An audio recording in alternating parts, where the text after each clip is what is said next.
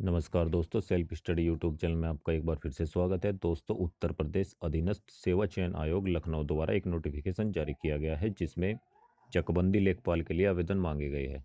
आपके ये आवेदन छः तीन दो हज़ार उन्नीस से स्टार्ट होंगे और इसकी जो सबमिट करने की अंतिम तिथि होगी, ये आपकी पाँच चार दो हज़ार उन्नीस होगी और जो संशोधन की अंतिम तिथि है, ये आपकी बारह चार दो हज़ार उन्नीस है।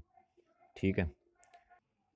और दोस्तों, इसमें जो आवेदन शुल्क है, ये आपका एक सौ जर्नल वालों के लिए है और अन्य पिछड़ा वालों के लिए भी एक सौ है और अनुसूचित जाति वालों के लिए पचानवे रुपये है और अनुसूचित जनजाति वालों के लिए पचानवे रुपये है और विकलांग हेतु केवल पच्चीस रुपये आवेदन शुल्क होगा।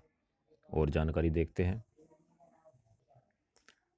दोस्तों, इसमें जो वैकेंसीज़ है, ये आपकी एक हज़ार दो तो जनरल वालों के लिए है और अनुसूचित जाति वालों के लिए तीन सौ बासठ वैकेंसी है।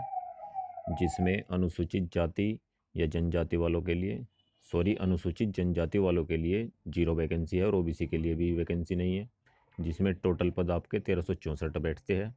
ये स्थायी रूप से है। आपको बता दूँ, अगर आप उत्तर प्रदेश के निवासी है तो दोस्तों, आप जर्नल में आवेदन कर सकते हैं। बसरते आपको 18 से 40 की उम्र के बीच में होना आवश्यक है। ठीक है, इसका जो ग्रेड पे है दोस्तों 2000 है, ये भी आपको ध्यान रखना है। कुछ और जानकारी देखते हैं। इसकी जो योग्यता है दोस्तों इंटरमीडिएट पास होना आवश्यक है।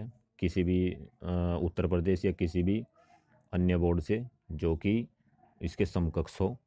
ठीक है, ये इसकी अनिवार्य अर्हता है, ये भी आप ध्यान रखें। और दोस्तों, ये बहुत अच्छी खबर है। आप ये फॉर्म भर सकते हैं चकबंदी लेखपाल। ठीक है, बाकी वीडियो में सिर्फ़ इतना ही। हमारे चैनल सेल्फ स्टडी को लाइक करें, शेयर करें और इसे सब्सक्राइब करना ना भूलें, जिससे हम आपको इसी तरह के नई अपडेट या कोई भी अपने द्वारा बनाई गई नई वीडियो आपको तुरंत उपलब्ध करा सके। धन्यवाद।